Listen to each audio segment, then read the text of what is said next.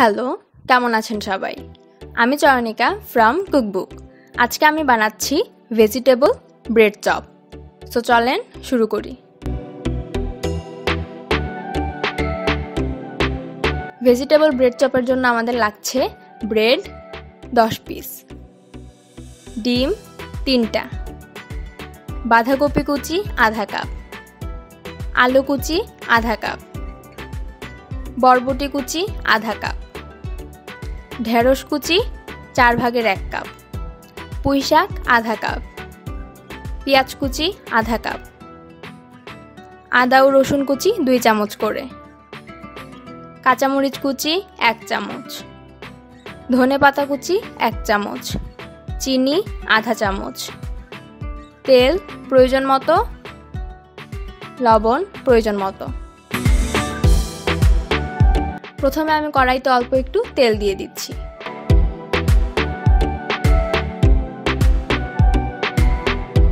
তেলটা গরম হয়ে গেলে তাতে দিয়ে দিচ্ছি পেঁয়াজ কুচি। পেঁয়াজটাকে একটু নেড়ে চেড়ে ভেজে নিচ্ছি। এবারেতে দিয়ে দিচ্ছি আদা কুচি ও রসুন কুচি। এটা ভাজা হয়ে গেছে।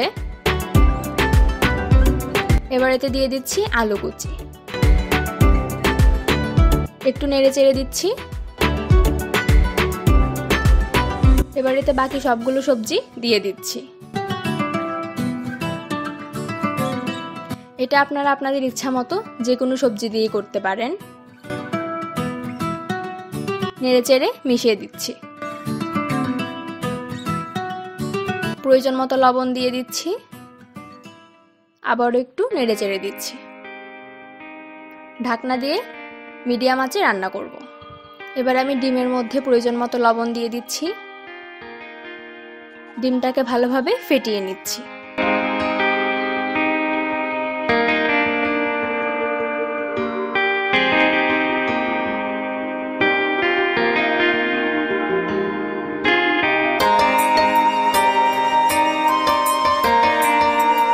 এবার সবজিটা একটু নেড়ে চেড়ে দিচ্ছি। সাথে দিয়ে দিচ্ছি ধনে পাতা কুচি। এবং কাঁচামরিচ কুচি। অল্প একটু চিনি দিচ্ছি, এতে করে সবজির রঙটা খুব সুন্দর, তাজা থাকবে। আবারও একটু নেড়েচেড়ে দিচ্ছি, এবার এটা নামিয়ে নিচ্ছি। এবার আমি ব্রেডের সাইডগুলো একটু কেটে নিচ্ছি।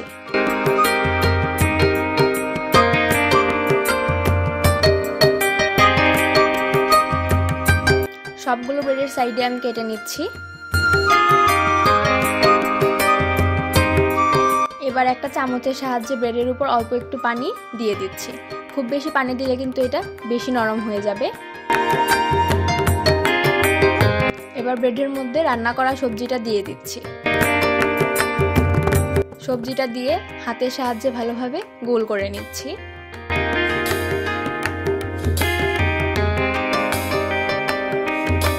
এভাবে আমি সবগুলো ব্রেড বানিয়ে নিচ্ছি।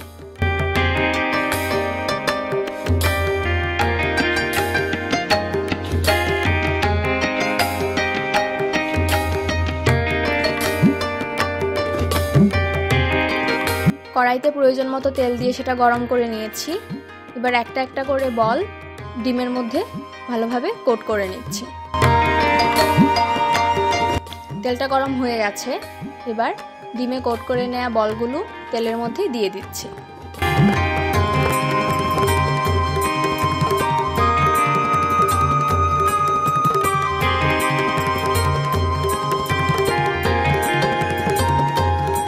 পাশ হয়ে গেছে, আরেক পাশ উল্টে দিচ্ছি।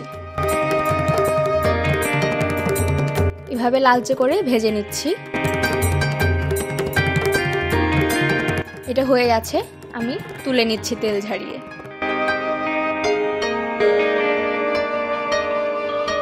এভাবে আমি সবগুলো বলকে ভেজে নিচ্ছি।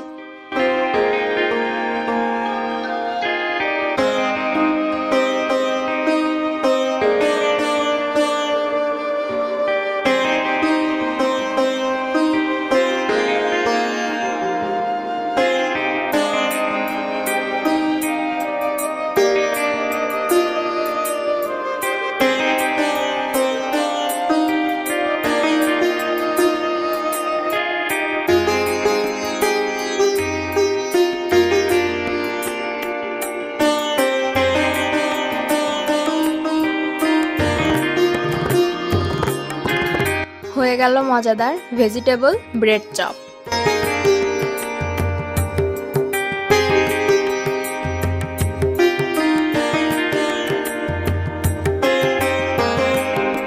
বানালে জানাবেন কেমন লাগল।